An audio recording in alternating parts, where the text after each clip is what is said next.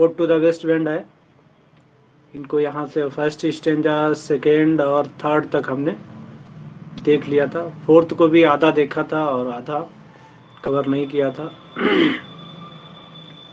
चलिए, इसमें जो इधर जो वर्ड दिए हुए हैं न्यू वर्ड हैं, इनको आप एक बार देख लीजिए। ज़रूर देख देख लें इनसे काफ़ी हेल्प हेल्प हमें मिलने वाली है। तो यहाँ पर जो वर्ड इसमें दिए हैं तो इनको आप देख सकते हैं और इसमें भी दिए होंगे आगे। ये वाले दिए हैं थोड़े, वो देख लीजिए। और फिर आज इस पोएम को हम ओवर ही कर देंगे। स्टेंजा थर्ड थर्ड वाला स्टेंजा तो हमने देख लिया था। फोर्थ की बात कर लेते हैं। एम ऑडिबल और नॉट साउंड पहुँच रही है हमारी? एक बार रिमाइंड करा दीजिए कि अगर साउंड पहुँच रही तो पहुँच रही अदरवाइज़ दोबारा कराएँ।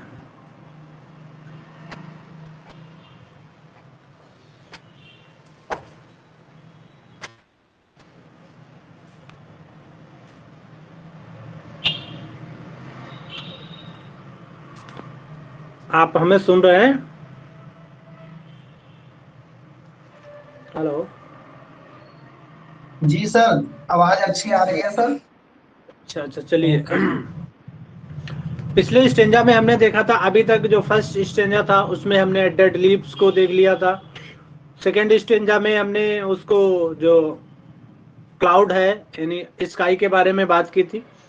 थर्ड स्टेंजा में जो हमारा पोएट है, वो बात कर रहा था कि ओशियंस की बात कर रहा था।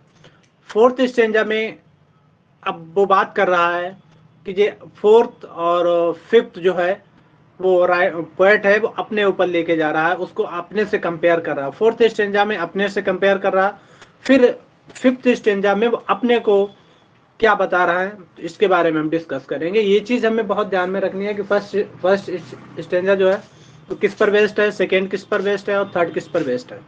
ठीक? बट अपने से कंपेयर किसको किसमें कर रहा तो अलग अलग स्टेंजा है और इनको हमें ध्यान में रखना है।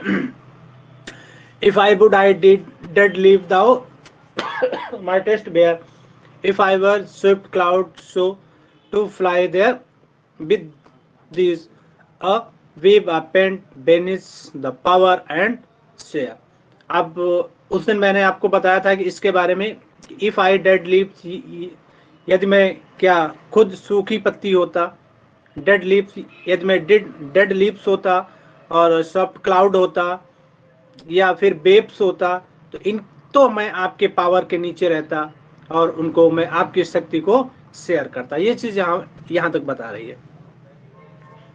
देखिए यहाँ से, यदि मैं डेड लिप्स होता तो आपके साथ उड़ता क्लाउड होता तो भी आपके साथ उड़ता। यदि बेब्स हो तो यदि मैं बेब होता किसके? समुद्र की। तो क्या है कि आपके पावर की मैं आपके साथ में रहता, आपकी पावर से नीचे रहता और उनको शेयर करता। ये बात कह रहा था। तो आपकी पावर से नीचे रहता और शेयर करता जो तुम्हारी शक्ति, संवेग है, उसको मैं दूसरों को भी ज्ञात करता। The impulse of this strong strength only less free और आपसे बस थोड़ा सा मैं फ्री रहता, क्योंकि मैं भी आपके इतना बिज़ी रहता। दैन दाव उसके बाद क्या? अनकंट्रोल्ड और मैं भी क्या होता कि पावरफुल बन जाता। मैं भी अनकंट्रोल्ड होता। कब if even I were as in my boyhood and could be यदि मैं, अब यहाँ यहाँ से समझने की कोशिश करिए। वो कह रहा है कि मैं अनकंट्रोल होता कब? One minute.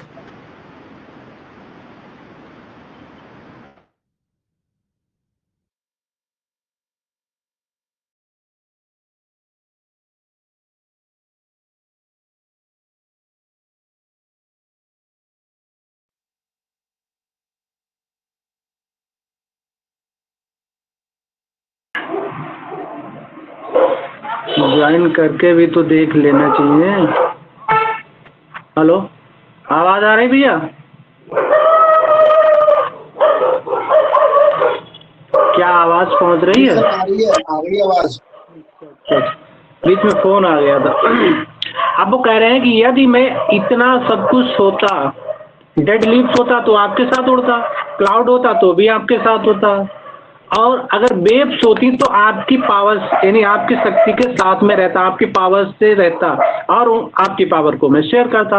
उसके बाद कहता है कि the impulse of the स्टॉ is only less than free thou मैं आपसे थोड़ा सा फ्री रहता, यानी मैं भी बिज़ी रहता, यानी आपके साथ होता तो मैं बिल्कुल बिज़ी रहता। वो अनकंट्रोलेबल और मैं अनकंट्रोलेबल होता कब? If even I as in my boyhood and could be यदि मैं उस अपने बचपन के दिनों में होता, कहने का मतलब है कि मैं उनमें होता, अपने बॉयहुड की बात करता हूँ, कि अगर बचपन में होता, तब मैं मैं भी, अगर मेरे पास इतनी पावर होती तो मैं भी अनकंट्रोलेबल होता, मैं हर जगह आने जाने का सक्षम होता, ही कुड भी मैं भी ऐसा कर सकता था, ये बात कर रहा।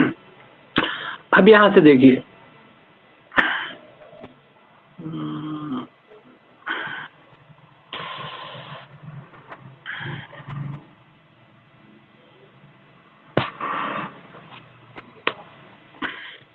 अब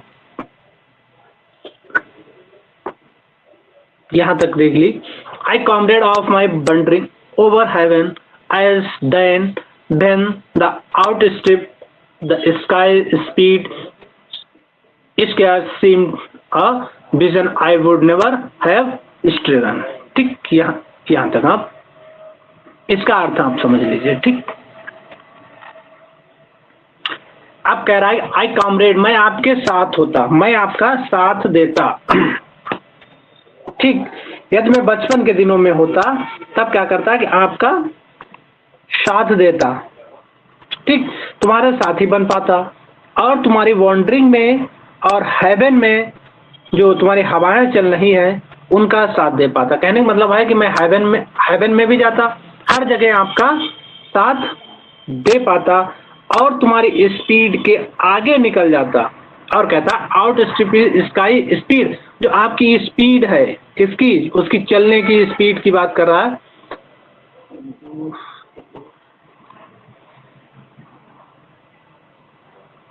उसके चलने की स्पीड की बात कर रहा और आपकी स्पीड से भी मैं आगे निकल जाता, जो ऐसे दृश्य बहुत कम देखने को मिलते, यदि मैं बॉयहुड में होता है। नहीं, कहने का मतलब है राइटर का पोएट का ये बात कर रहा कि मैं आपके साथ देता किसमें? यदि मैं बचपन में होता, मेरे पास इतनी पावर होती तो मैं आपके साथ होता। घूमने में कहा?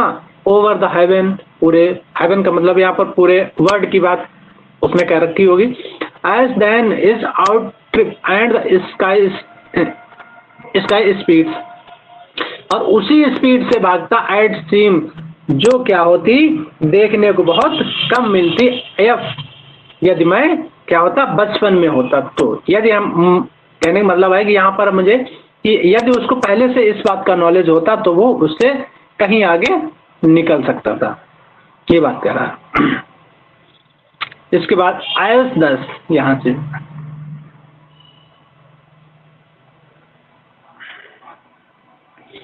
आयस दस बीज these are prayer in my score need of left me as a wave, a leaf, a, a cloud. I fall upon the throne of life, throne of life. I bleed.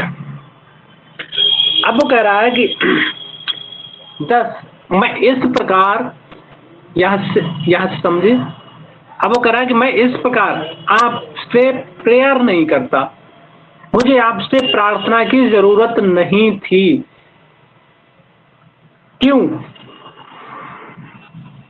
यात्रा नहीं कर रहा होता, क्योंकि मैं तुम्हारे साथ जो अब कर रहा हूँ, मैं तुम्हारे साथ जो अब प्रार्थना कर रहा हूँ, वो इसकी प्रार्थना करने की आवश्यकता नहीं है और वो भी नहीं करता यदि मैं बचपन में होता।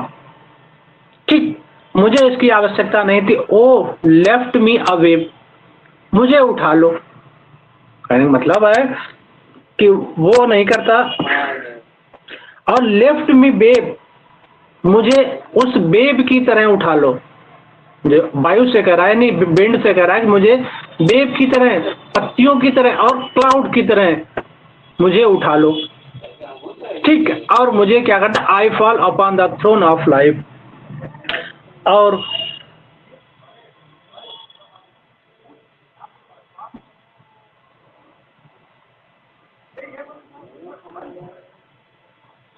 और कह रहा है कि मुझे उठा लो कि आई फॉल, मैं घिरा हुआ, आई फॉल और थ्रोन ऑफ़ लाइफ का मतलब यहाँ पर है कि मैं घिरा हुआ हूँ किससे? परेशानियों से। आई ब्लीड ब्लीड का मतलब ब्लड होता है, लेकिन ब्लीड का यहाँ पर प्रॉब्लम्स या सैडनेस है, या उसके जो विचार्स हैं, वो ओल्ड हो गए हैं या डेड हो गए हैं, इस बात को लेकर वो कह रहा है। इसका आगे भी समझने मिलेगा।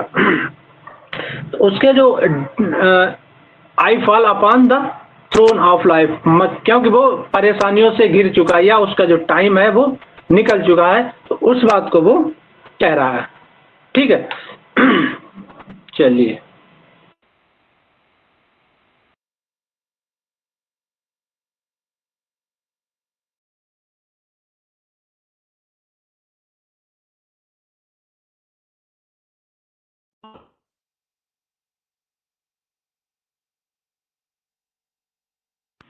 देखिए इनकी क्या प्रॉब्लम है भाई कोई सॉल्व कर सकता है?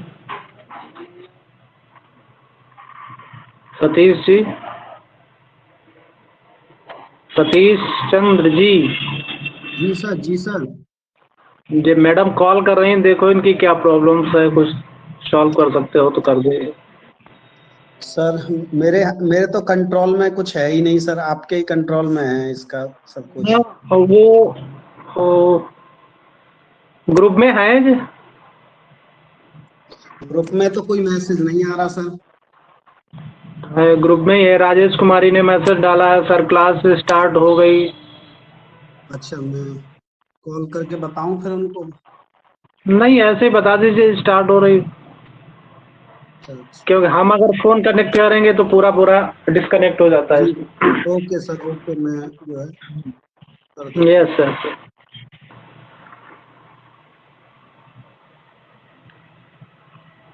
मैंने मैसेज डाल दिया, sir. Okay okay. I babe the babe कहने का मतलब है कि वो उनको उठा लेता। बेब की तरह, सूखी पत्तियों की तरह और क्लाउड की तरह I fall upon throne is life और क्या क्या करता है आई फॉल मुझे जो प्रॉब्लम से घिरे हैं ब्लीड है, जो मेरे सैडनेस है, उनके साथ क्या करता मुझे उनसे छुटकारा मिल जाता है। ये बात यहाँ पर कहना चाहता है।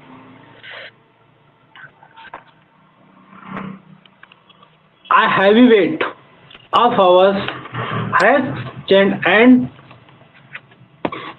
worked. One minute.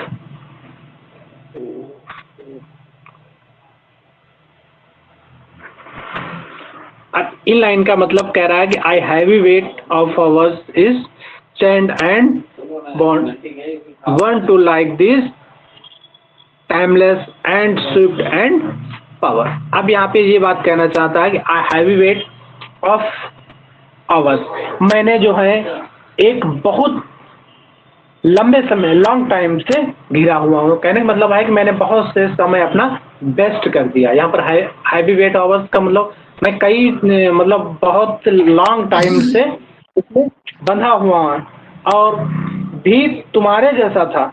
मैं भी तुम्हारे जैसा था, लेकिन क्या है? कि मैं बहुत अपनी परिस्थितियों से बंधा हुआ हूँ। ये बात कहना चाहता है। And one too like this मैं आपके ही जैसा था। इम्पल्स स्वीट स्वीट था। टाइम टाइमलेस था और प्राउड ही था। यानी जो आजकल जो आप में जितना प्राउड है स्विफ्ट है, ठीक टाइमलेस है तो मैं भी था। लेकिन मैं क्या है कि मैंने बहुत सा समय, जो लॉन्ग टाइम है, वो क्या कर दिया है? उन सबसे मैं बंधा हुआ हूँ। अदरवाइज़ मैं तुमसे ज़्यादा पावरफुल होता, ये बात कह रहा है। इसका समझ गए? चलते हैं फोर्थ स्टेंजा पे। फिफ्थ वाले पे। फिफ्थ और लास्ट स्टेंजा की बात कर लेते हैं।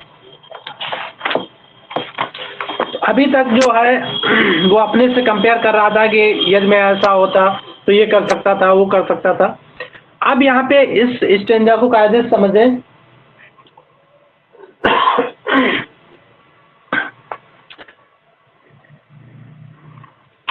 यहाँ से देख लें पहले तीन लाइन का मतलब फिर आगे बताएँ।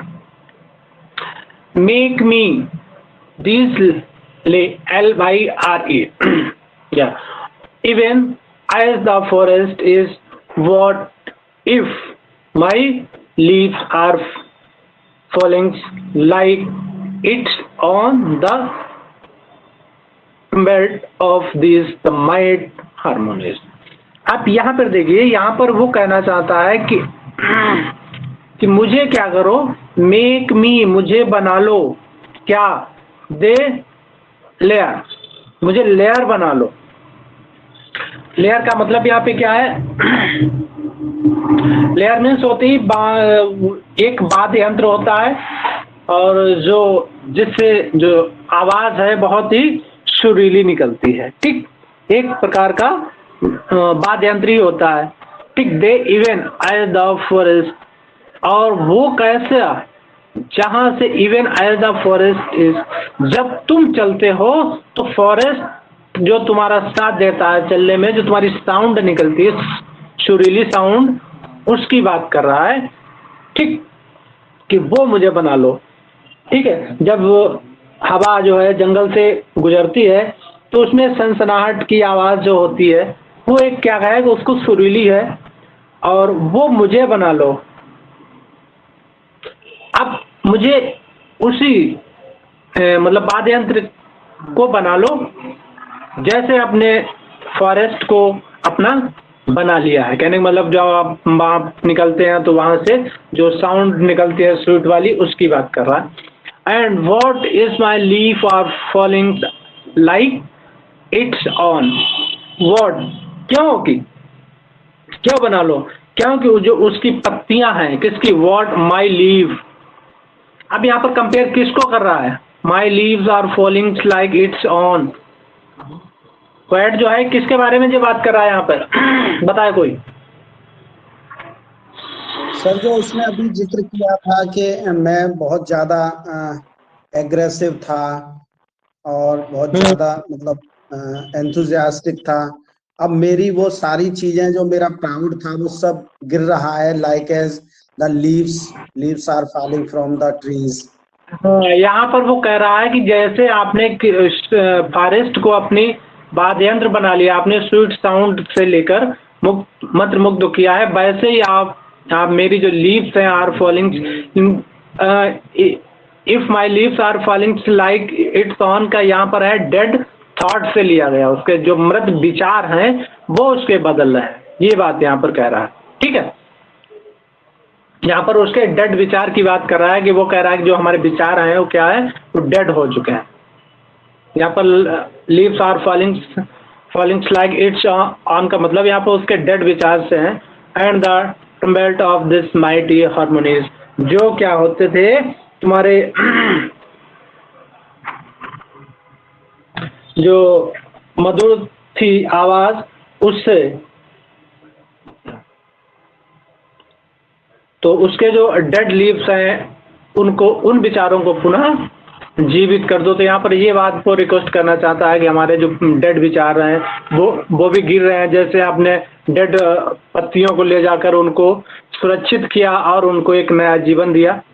आगे है, अभी हम समझेंगे इसको।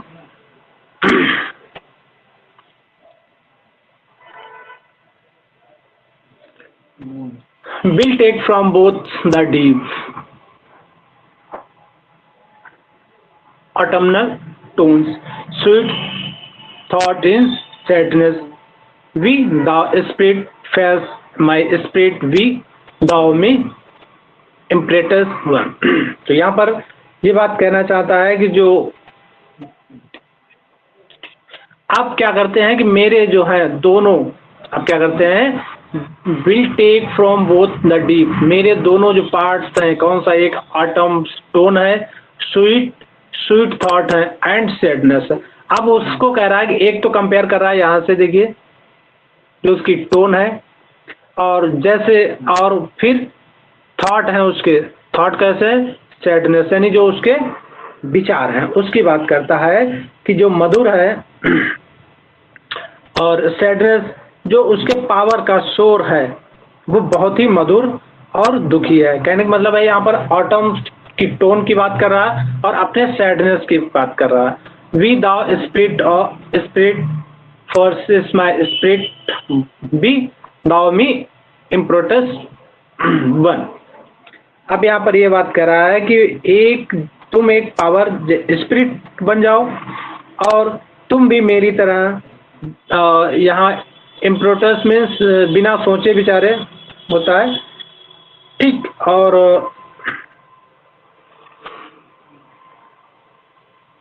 और इनको तो तुम भी मेरी मेरी तरह बन जाओ जो जो हमारे विचार हैं सैडनेस के, जो हमने खो दिया है, उनको क्या क्या करो तुम? स्प्रिट यानी तुम भी बिल्कुल मेरी मेरी तरह ही बन जाओ। का मतलब है कि वो विंड से कह रहा है कि बिल्कुल तुम मेरी तरह ही बन जाओ। और जो तुम्हारे सैडनेस हैं, जो मेरे विचार हैं, इनके बारे में वो कंपेयर कर रहा है केवल यहाँ पर, इनसे, इन दो से। तो ये ये दो वर्ड आप ध्यान रखें। ठीक, ये है। और एक जे यस हेलो सर यस हाँ एक कैंडिडेट का जो है अप्रूवल पेंडिंग है. अगर आप अप्रूवल दे सकें तो वो ज्वाइन कर लें। किनको? कोई कैंडिडेट है राजेश नाम से वो अप्रूवल पेंडिंग है उसको स्क्रीनशॉट दे रहे हैं। अगर अप्रूवल हो जाए तो दे दीजिए अरे बाद में करेंगे छोड़ो। ओके ओके सर बीच में डिस्टर्ब कर रहे हैं उससे पहले भी तो देख सकते थे हमारा क्या हुआ। हो सकता है कि उनका टीचर डिलीट हो गया हो। है ना? अब वो कह रहे हैं अब उनको अगर हम करेंगे तो हमें वो फिर से सब बैक बैक होना पड़ेगा। ठीक है sir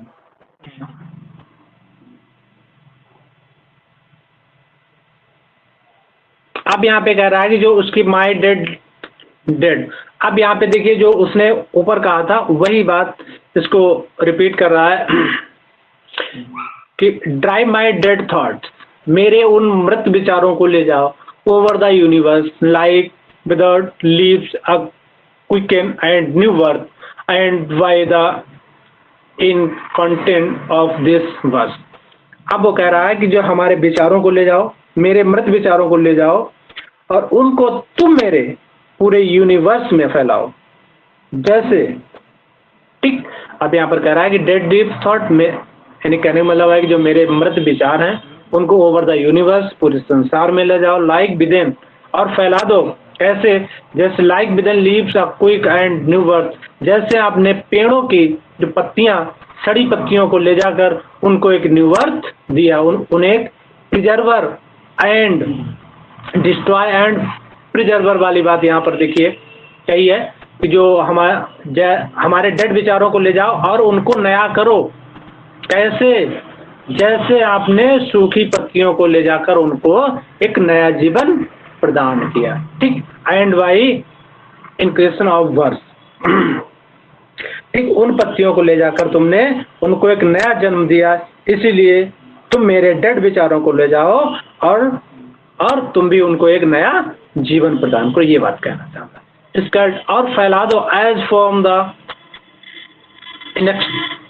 health as as the speech is my words among mankind और क्या करो, हमारे उन विचारों को वहाँ तक पहुंचाओ, जो मैं लिखता हूँ, मेरे शब्द, उनको संपूर्ण मानव जाति में फैला दो। Thick of the mankind अब यहाँ पर यह बात कहना चाहता है कि जो भी उसके, जो उसके विचार हैं डेड विचार हैं, जो उसके मृत विचार हो गए उनको क्या करो? अब जैसे तुमने सूखी पत्तियों को ले गए थे, ठीक, अब उनको तुमने नया जन्म दिया है। वैसे ही आप मेरे जो डेड विचार हैं, उनको हर जगह फैला दो। जो मेरी लिखी हुई पोएम्स हैं जो मेरे लिखे हुए शब्द हैं, उनको क्या है कि लोगों तक पहुंचाओ? ठीक be thought my sleep lips and unwoken earth अब क्या करो कि जो उन विचारों, जो जो मेरे डेड विचार हैं, उनको ले जाकर मानव जात में फैलाओ। और क्या करो? Be throw my lips to unwoken the earth इस धरती पर जो सोई हुई धरती है, उस पर क्या करो कि आप ले जाओ। किसके द्वारा? बी थ्रो माई लिप्स मेरे लिप्स में जाओ। मेरे लिप्स में जाओ तो अनवोकन अर्थ जो इस धरती पे अनवोकन है, जो अनवोकेंधर तक मेरी शब्द को ले जाओ। किसके? मेरे ओठों से चुरा कर ले जाओ। ये बात है। ठीक। कहने का मतलब यहाँ पर पोइट ये बात कह रहा है कि जो जैसे तुमने विचार दूसरे के लिए है, मेरे शब्द उन तक ले जाओ। किसके माध्यम से? जो मेरे लिप्स से निकले हुए शब्द हैं, उनको चुराओ और सीधे उनको ले जाओ। और उनको अनवोकन अर्थ में ले जाओ। ये बात कहना चाहता है। The trumpet of the prophecies O winds और एक भविष्यवाणी के रूप में इनके सिद्ध प्रकट करो। क्या है कि इनको एक भविष्यवाणी के लिए सिद्ध करो। और वो जो तो आप, मेरे वर्ड है, वो एक भविष्यवाणी, धरती के लिए एक भविष्यवाणी बन जाएँगे। और फिर कहता है, और एक बिगुल बनाओ। बिगुल का मतलब है कि उन जन जन तक ये बात पहुंचानी है। तो ये बात कर रहा है, और एक प्रोफेसिस बनाओ ओ वाइंड ओ विंड ही इफ़ विंटर्स कम अब यहाँ पे इस चीज़ को ध्यान रखना है। इफ़ विंटर्स कम यदि विंटर आया है can spring before is behind क्या इसके पीछे क्या स्प्रिंग नहीं आएगी? कहने का मतलब है यहाँ प्रकृति का नियम है। और यदि विंटर्स आया है तो क्या स्प्रिंग नहीं आएगी? तो स्प्रिंग भी आएगी। उसके पीछे ही स्प्रिंग नहीं आती तो ये क्वेश्चन पूछ रहा तो यहाँ इसका आंसर है कि हाँ बिल्कुल। भाई, अगर ये तो प्रकृति का नियम है, वो तो चक्र एकदम चलता रहता है। ठीक है? आई होप आपको ये पोएम समझ में आई होगी और क्लियर भी हो गई होगी। और जो चीज़ रह गई है, यहाँ पर कोई ऐसा पॉइंट है जो समझ में नहीं आया हो इस पोएम में। देखिए पोएम जो काफ़ी टफ है। समझने में थोड़ा दिक्कत तो है, खैर। फिर भी अगर कोई अगर पॉइंट्स आपको रह गया हो, जहाँ से आपको लग रहा हो कि नहीं, ये हमारे समझ में नहीं आया हो तो उसका रिपीट कर दें। अदरवाइज़ नेक्स्ट पोएम की बात करते हैं। टेल मी एनीवन सर, बहुत अच्छा समझ में आया है। बिल्कुल क्लियर कर दिया आपने, बहुत अच्छे से। नहीं, कहीं पर अगर लग रहा हो तो को जो पॉइंट्स नहीं आए हैं तो उनको दोबारा हम रिपीट कर सकते हैं। और फिर इसके बाद टू द स्काई लॉक की बात कर लेते हैं, क्योंकि इसको अभी कई दिन हो गए तो दो तीन दिन हमने थोड़ा टाइम की वजह से प्रॉब्लम्स रहती है तो फिर अब टू द स्काईलार की बात करते हैं। इसमें कुछ एक पॉइंट्स मिल रहे हो, या किसी के पास कोई पीडीएफ पड़ी हो तो सेंड कर सकता है मुझे। अदरवाइज़ हमें गूगल बाबा का सहारा लेना पड़ेगा। क्योंकि वही हमारे गुरु हैं। यस या नो जी सर अच्छा तो फिर आप दो मिनट का वेट करिए। और बस अभी आया। यूँ गया यूँ आया।